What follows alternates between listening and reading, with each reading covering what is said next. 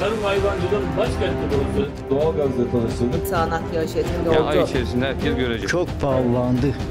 Birilerinin kulağına kar suyu kaçar. Türk aklıyla alay geçmesine kızıyoruz. Ergene Belediyesi buna bir itirazımız yok.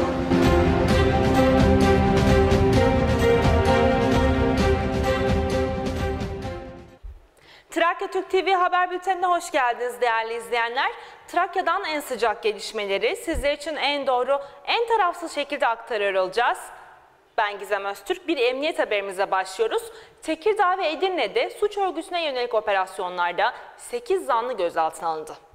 Malkara Cumhuriyet Başsavcılığı koordinesinde İl Emniyet Müdürlüğü ekipleri Tekirdağ ve Edirne'de suç işlemek amacıyla örgüt kurmak, örgüte bilerek ve isteyerek yardım etmek, tefecilik, kasten öldürmeye teşebbüs, kumar oynatmak için yer temini ve tehdit suçlarını işlediği tespit edilen şüphelerin yakalanması için çalışma başlattı.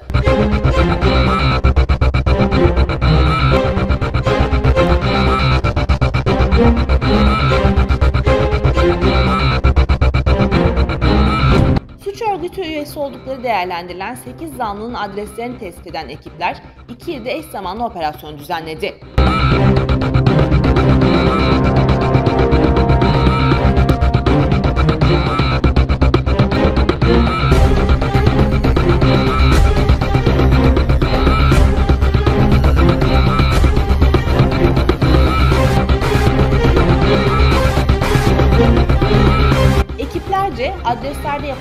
Aramalarda 5 tabanca, 2 tüfek, 370 mermi, suça konu çek, senet, belge, döküman, dijital materyal, kumar ve tefecilik faaliyetlerinden elde edildiği değerlendirilen parayla ziynet eşyası ele geçirildi. Gözaltına alınan 8 şüphelinin emniyetteki işlemleri sürüyor. Evet,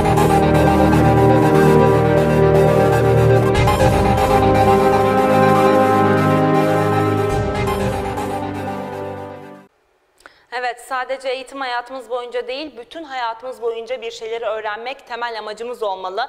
Bu amaçla Tekirdağ'ın Muratlı ilçesinde Hayat Boyu Öğrenme Şenliği programı düzenlendi. Muratlı Milli Eğitim Müdürlüğü'nce tertiplenen program, saygı duruşunda bulunulması ve ardından İstiklal Marşı'nın okunmasıyla başladı.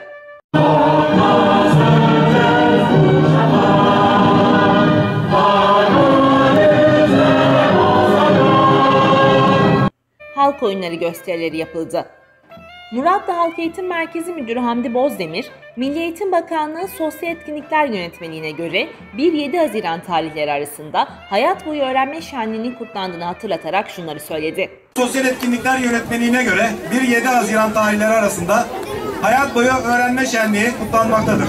Ülkemizde bulunan 998 adet halk eğitim merkezinde bu hafta boyunca şenlikler düzenlenecektir. Bu şenliklerde hayat boyu öğrenme kurumlarından bir tanesi olan halk eğitim merkezlerinin yıl içerisinde yaptığı çalışmalara ait örnekler sergilenecektir. Okuma yazma kurslarını geçerek okuma yazma öğrenen vatandaşlara sertifikaları Milli Eğitim Müdürü Ali Erkol tarafından takdim edildi.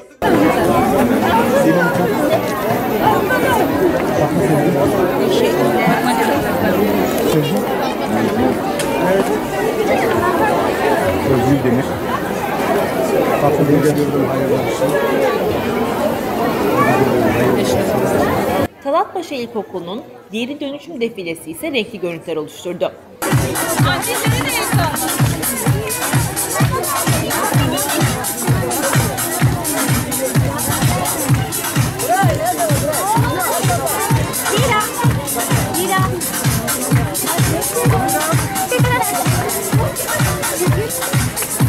Ardından Talatpaşa Ortaokulu Korosu sahne aldı.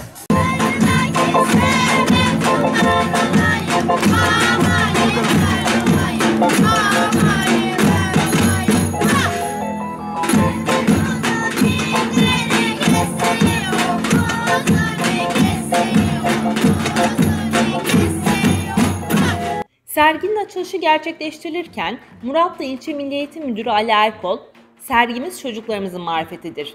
Çocuklarımızın yanlarında olduğumuzu onlara hissettirelim. Bu programın hazırlanmasında emeği geçen arkadaşlarımıza teşekkür ediyoruz ifadelerini kullandı.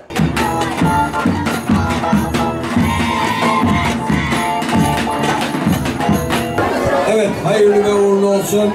Sevgimiz çocuklarımızın maharetidir. Maharet irtifata tabidir. Gezelim, görelim, e, beğenelim. Önerilerimiz varsa önerilerde bulunalım. Bu çocuklarımızın yanında olduğunu onlara hissettirelim. Bu programı hazırlamasına emeği geçen arkadaşlarımıza teşekkür ediyoruz. Ya Allah, Bismillah. Protokol üyelerince standlar gezilerek bilgi alındı.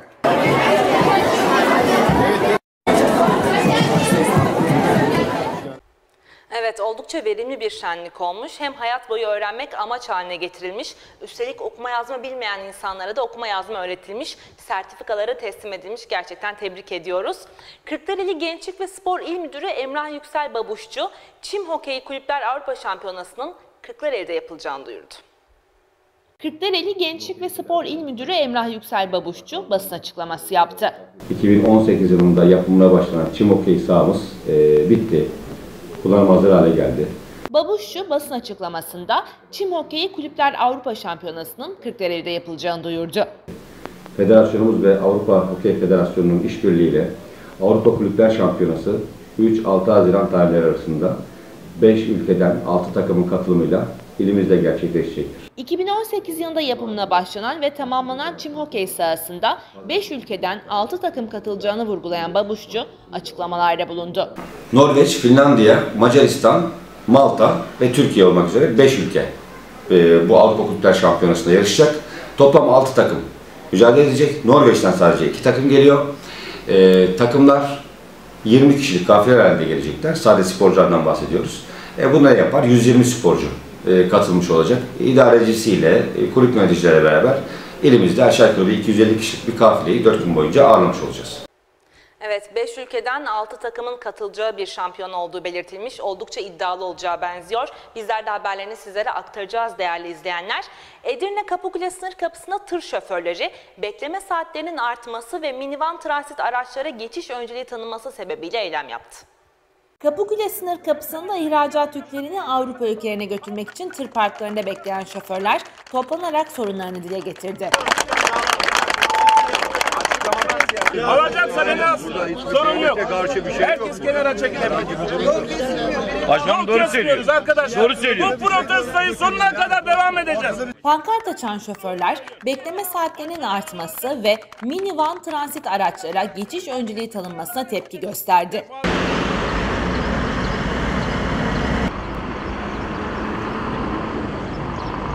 Tır sürücüleri adına konuşan Transport Dünyası Uluslararası Şoförler Derneği Başkanı Hakan Yücel açıklamalarda bulundu. Defalarca söyledik. Haksız rekabetin ortadan kaldırılması. Arkadaşlar bu yeşil mührü gelip adam 11 saatte 12 saatte burayı terk ediyor. 110 saat bekleyen adama yazık günah değil mi? Evet. Aynen öyle doğru Yani burada 110 saat geçmiş bundan birkaç gün önce 51 kilometreye uzayan Hamza Beyli gümrük kapısı sırası.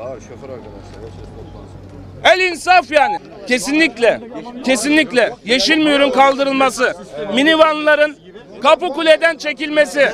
Minivanlar Dereköy'e. Alkışlayalım arkadaşlar. Minivanlar Dereköy'e. Diğer tır şoförleri de bekleme saatlerinin kısaltılmasını istedi. Bu konu bu konu artık bıçak kemiğe dayandı.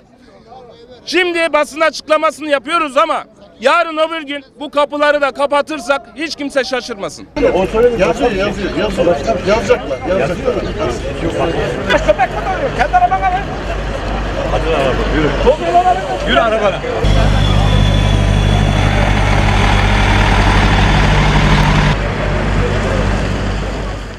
Evet, tır şoförleri seslerini duyurabilmek için eylem yaptılar. Bakalım neler olacak. Edirne'de 5 dakika boyunca etkili olan sağanak yağış sonrası bozuk yollarda su birikti. Sürücüler ve vatandaşlar zor anlar yaşadı. Edirne'de altyapı yetersizliği ve bozuk yollarda 5 dakikalık sağanaktan dolayı biriken sular sebebiyle sürücüler ilerlemekte güçlük yaşadı.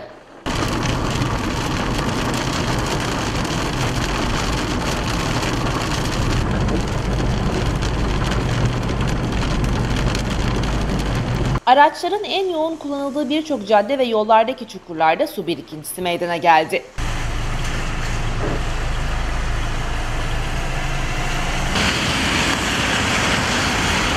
Kısa süreli sağanak yağışla birlikte neredeyse göle dönen yollarda araç sürücüleri hareket etmekte zorlandı.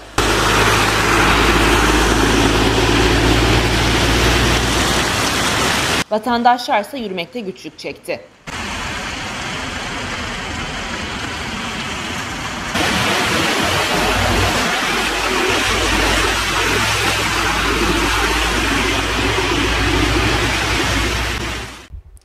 Evet oldukça keyifli bir haberle devam ediyoruz.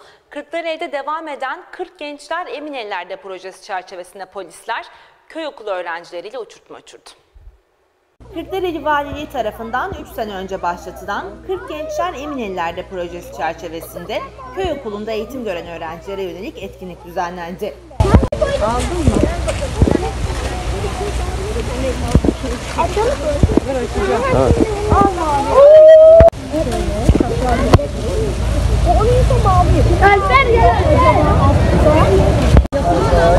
Etkinlikte ilk olarak müze gezisi yapıldı. Benimki de öyle. Ben böyle Ben kuyruğu aç ya.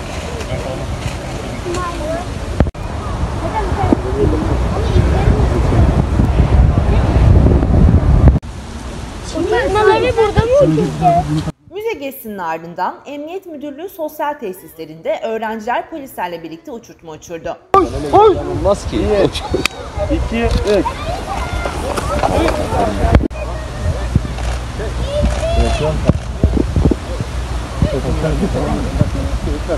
Evet oldukça renkli ve keyifli görüntülerdi değerli izleyenler. Umuyoruz ki çocuklarımızı hep sizlere güzel haberlerde aktarırız bizler de.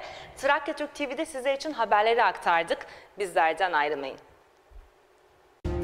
Tarım hayvancılığın başkenti burası. Doğalgazla tanıştırdık. Sağanak yağış etkili Ya oldu. ay içerisinde herkes görecek. Çok pahalandı.